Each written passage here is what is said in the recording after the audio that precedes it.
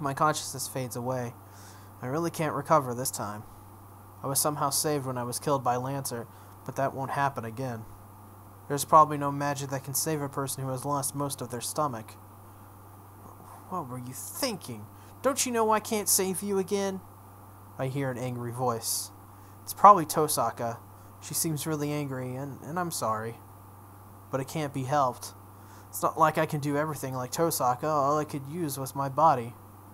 So that's why the only thing I could do was to use my body to shield Saber.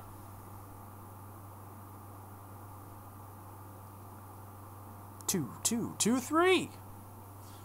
Fate for partner.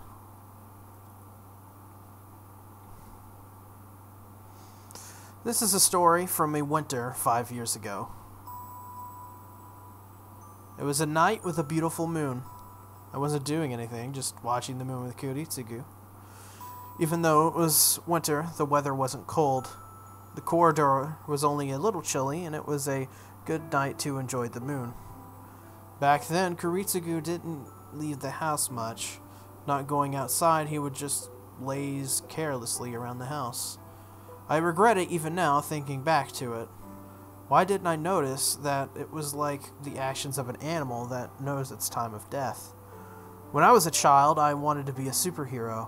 Suddenly, that man himself a superhero in my child's eyes. That man, himself a superhero in my child eyes, say, said that as if yearning for it. What? What do you mean by wanted? Did you give up? I became angry and asked him. Kiritsugu laughed epithet- apologetically and looked up at the sky.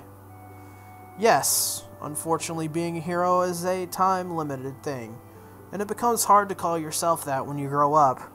I wish I'd found out that out earlier. I agreed with that. I didn't know why, but I thought it couldn't be wrong because Kiritsugu said so. I see. Then I guess it couldn't be helped. Yeah, it really couldn't be helped. Kiritsugu answers. So, of course, my response was determined. Yeah, it can't be helped, so I'll take your place. It's impossible since you're an adult, but it should be alright for me.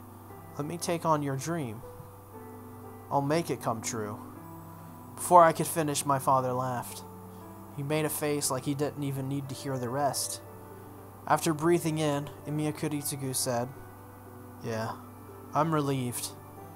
He quietly closed his eyes, and his life ended. Since he looked so peaceful, I thought he would wake up again in the morning, so I didn't disturb him. Perhaps being used to seeing death factored in. Perhaps being used to seeing. Perhaps being used to seeing death factored. Fuck. I, some of this is just translated weird for me. Without doing anything, I just looked up at the man who is my father as he entered a long sleep. There were no sounds of insects in the garden as it was silent. In the bright night, I remember only my eyes being hot. I did not cry out, nor did I feel sad, but I could not stop my tears until the moon sunk. That is the story from away here. Where did it go? Man, I'm yawning so much. I'm sorry, guys. Perhaps I cried ten years worth of tears since after that. There was nothing. Fuji-nee's father planned the funeral, and I started. Fuji-nee's father planned the funeral, and I started living in his house by myself. Nothing changed, even though Kiritsugu was gone. Emiya Shirou would become a superhero like Emiya Kiritsugu, so there was no time to be playing around. That's right. I didn't mention it, but I remember perfectly the figure of the man who saved me, who was left to the fire ten years ago. He held up in his arms an unconscious child about to die from burns. He became so happy that tears welled up in his eyes and took the child outside. From that time, he was the subject of my admiration. No one saved me. I couldn't save anyone. In it all, I was saved, and a person was there to save me. That's why I decided to become like that. Become a superhero that I could save people and let no one be killed, just like him. Kiritsugu died peacefully, leaving me his dream of becoming a superhero himself. It's only natural for a child to succeed their father. Emiya Shirou must become a superhero and save someone just like the old me. I swore so as a child, to fulfill the dream of the man I'd admired the most. But honestly, I don't get it. What this superhero thing is supposed to be, how to become one, how to make everyone happy like Kiritsugu always said. And I became this thing called a master, and things like the blonde haired girl followed me around is so confusing my head, and, and really,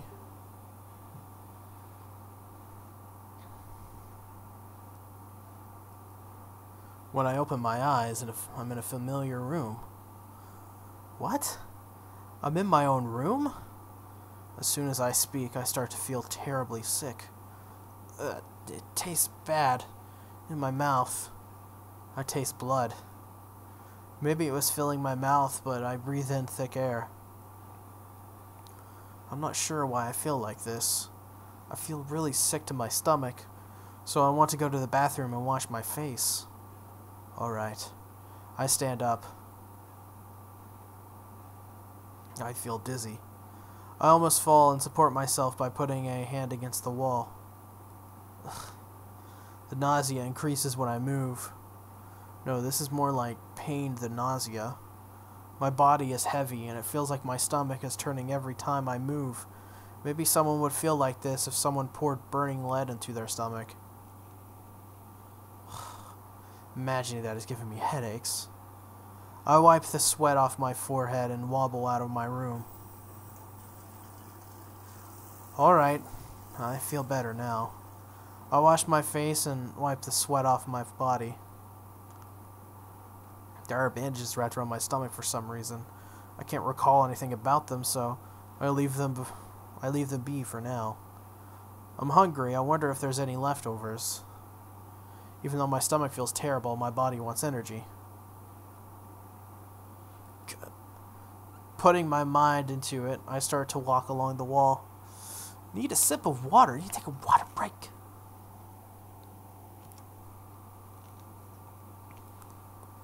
I still feel dizzy. My body feels dull. Ow, ow, ow. I walk forward, letting out miserable sounds. Really, what did I do before going to bed? I don't remember any training that could have caused this pain. I, I reached the living room. Sakura and Fuji-nee must be at school. There's no breakfast prepared in the living room, and there's none of Fuji-nee's loudness. The quiet living room is like a typical Sunday. Hey, it's Tohsaka. Good morning. I'm afraid I came in without asking you, Emiya-kun. No, it's not that. No, it's not. What? Tohsaka Rin is sitting on a cushion. Her calmness is, makes me think I'm the guest in this in this house and not her. I don't know how to answer her. First of all, I sit down, and then I take a deep breath and ask, Tohsaka, why? Hold on. Could you apologize first? I can't calm down until I hear an apology for last night. Angry face. It's good for thumbnail. I don't even have time to ask her why she's here. Tohsaka is glaring at me like like she's really mad. It seems she's really angry about last night, but what happened last night? But what happened last night? There you go. Hold on. I recall it now. That's right. Why am I so relaxed? I tried to save Saber, and Berserker blew away my stomach. Ugh. The nausea returns. I feel a chill, remembering the feeling of having a hole in my body. Something in my stomach moves. Feels really sick. Feels really sick. But that's definitive proof that I'm alive. Wait, that's weird. Shouldn't that have been instant death for me? Strange. Why why the hell am I alive? Do you remember the stupid thing you did last night? If you do, then please review your actions. Tohsaka lets out a humph and criticizes me. Huh. That's really annoying. My head, which was frozen by the fact that Tohsaka is here, finally resumes activity again. What are you saying? There was nothing else to do at that time. Oh, well, it does look stupid if you just look at the results, but I was going to do it better. So it wasn't a mistake. I protest, glaring at her. Huh? What? What? Why is she sighing? Didn't I tell you that servants will disappear if their masters are killed? So it's true to try to protect your servant. What? What? Uh, what? Look, I don't. She's just missing the fangs. She just needs a fang, and she's full tsundere. Look, Saber will disappear if you're killed. If you want to save Saber, think of a way to do so from a safe place. Jeez, don't you understand that protecting your servant with your life is just meaningless? It's not that I protect her with my life, I tried to save her, and it just happened to work out like that. I don't think things would end up like that either. I did think I would be killed if I went near that monster, but that's a different matter. Facepalm. I see, you seem to misunderstand. As if she's re- as if she's read my mind, she sulks even more. Look, Emiya-kun, I'll come out and say it, but I didn't take you to the church to help you win. I was trying to help you stay alive, even if you were left on your own. Seems you didn't understand that part of it. Help me stay alive. That's right. You shouldn't take risks if you realize that a loss equals your death. You seem to be someone who would walk out at night by yourself even in a situation like this. If I threatened you, I thought you wouldn't have take I thought you wouldn't take risks and you might get through this. I see. I didn't notice that. So that's why she's complaining to me about not realizing that and running at Berserker. So, why are you mad, Tohsaka? It shouldn't bother you if I'm the one that made the mistake. Of course it bothers me. You made me worry for the whole night. oh, is the best. Tohsaka throws out a temper. But I see. I'm honestly happy she's worrying about me. Looking at the situation, it seems Tohsaka was the one who treated my wound. I see. I guess you helped me out. Thank you. I bow my head to show my thanks and apologize. It does.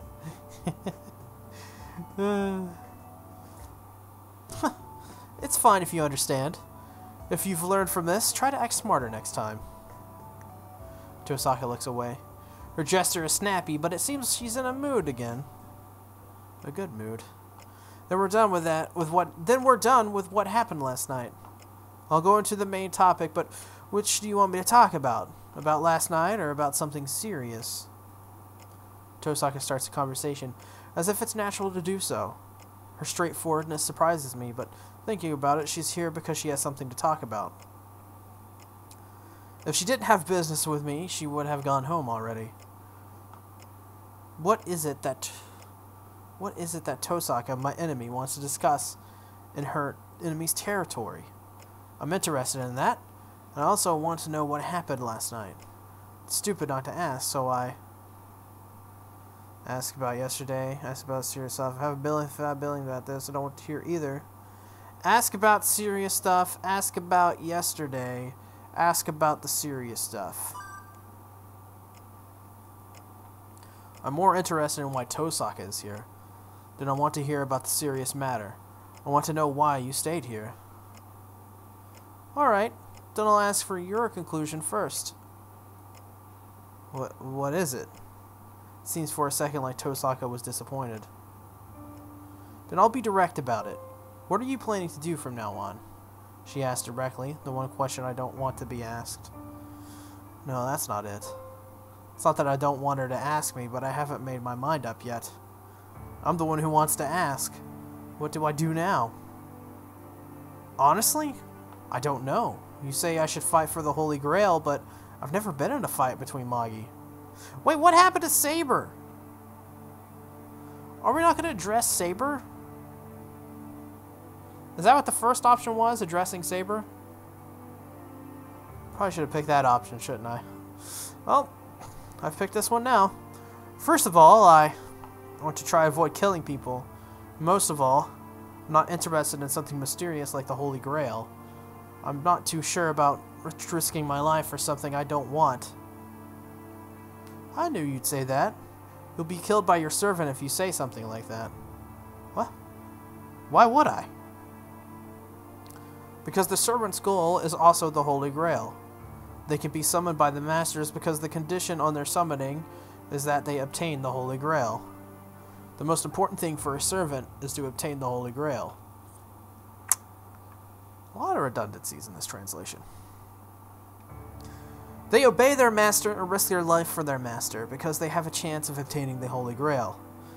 So just try saying that you don't want the Holy Grail. You can't complain if they kill you and call you a betrayer. What is that? That's weird because servants are what the master summons, right? So? Do you think a servant would obey a human for no reward? The Holy Grail grants the wish of what, uh, whoever obtains it. The servant of the master who obtains it is no exception. No exception. Even the servants have their own wishes. That is why they respond to the otherwise impossible summoning. It's not that the masters are summoning the servants to obtain the Holy Grail. The servants are answering the master's call because they can obtain the Holy Grail. Servants have their own desires.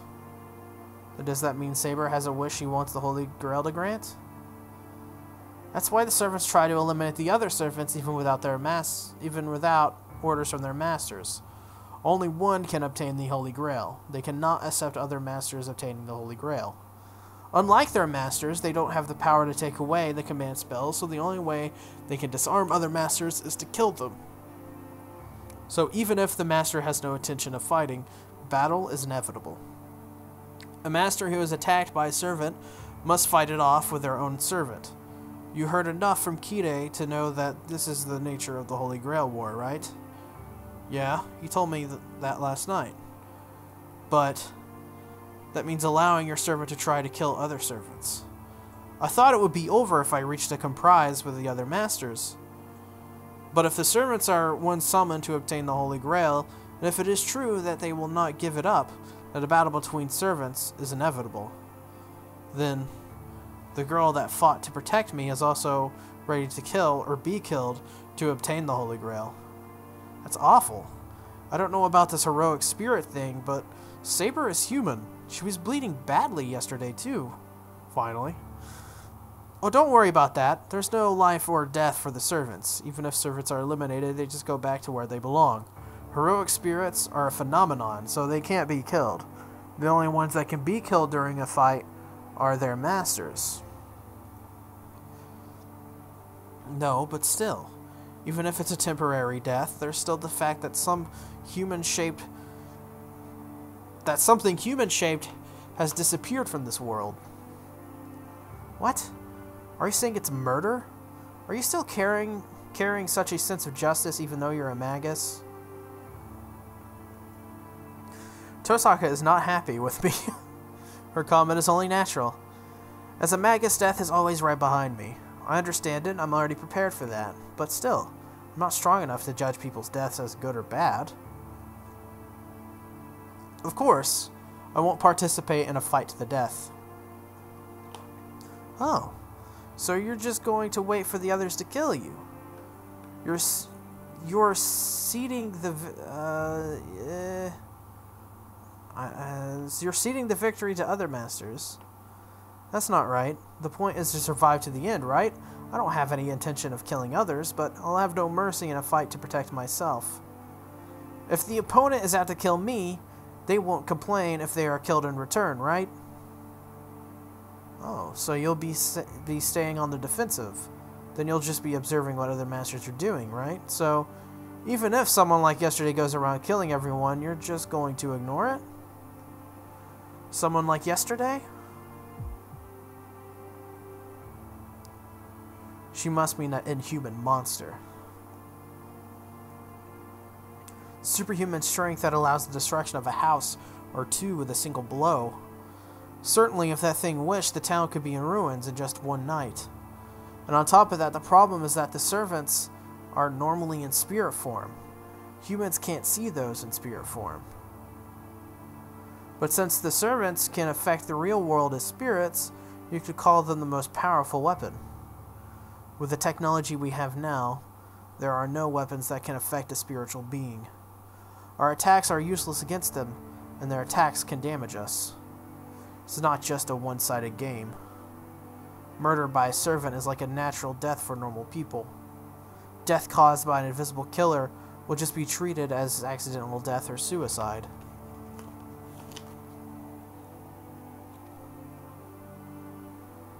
What is that? Servants? No? Masters. The servants just attack other masters. What other other people have nothing to do with them, right? Yeah, I really wish that was the case, but if it were, you wouldn't need a supervisor like Kirei, would you? I should have said earlier that servants are spirits. They are already complete, so they don't grow. But magical energy used as a fuel is different. The more magical energy they have available, the more they can use the powers they had in life. That part is the same as for us Magi. Don't you understand? I do, so they can use magic repeatedly, right? You could say magical energy is the gunpowder to fill a gun, and the magus is the gun itself. The type of gun depends on the magus's ability pistol, rifle, machine gun, shotgun. Using that metaphor, servants are cannons. Using a large amount of gunpowder, they fire a large bullet. That's right, servants aren't given their mana by nature, they act with the magical energy within them. We masters supply it, so servants can only use their powers using their magical energy, their own magical energy plus the magical energy of their master. But that means an amateur master like you would be no match for other masters, right? So there's a loophole. Well, I guess you can call it an obvious answer. Servants can supplement their magical energy from other sources. Servants are spirits, so they can get nourishment from eating things like that like that from eating things that are like them. Hmm? Nourished by eating things that are like them. Things like them? You mean spirits? But what kind of spirits would they eat? It's a simple answer. Nature spirits obtain power from nature itself. So, where do you think servants, human spirits, get their power from? Oh, it is a simple answer. As we humans eat meat, the human spirits. Exactly. Uselessly, they usually they replenish enough magical energy from their master, but it's obvious that one gets more magical energy from many people rather than just one person, right? To put it bluntly, a weak master makes his servant eat humans. Servants transform human emotions and souls into magical energy. That is the most efficient way to make your servant more powerful, there are many masters who will kill humans as sacrifices for their servants. As sacrifices? So you're saying that if a master didn't care about his methods, he would kill humans to make his servant stronger? Yeah, but I don't think a, mas- a smart master would do such a thing. You see, even if servants are powerful, there is a limit to their magical energy capacity. They can't store more than their capacity so there is a limit to how much they can kill and collect magical energy. The association wouldn't ignore if you went around killing people, and most of all, other masters might figure out your servant's abilities and identify them from the cause of death, not to mention the identity of the master as well. It is highly advantageous to the Holy Grail War to keep your identity a secret, so a normal master should be stingy about using their servant. I see. Certainly, if nobody knows that you are a master, there's no danger of other masters attacking you. Conversely, if you know who the other masters are, you could definitely pull a surprise attack on them. By that theory, there won't be many masters that would have their servants attack humans and reveal their identity. I'm glad. Then there's no problem.